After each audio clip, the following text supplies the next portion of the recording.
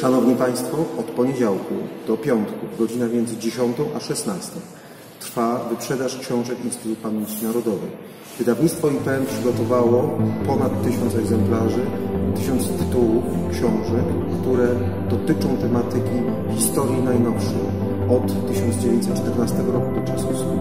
Zapraszamy, ponieważ mamy atrakcyjne ceny.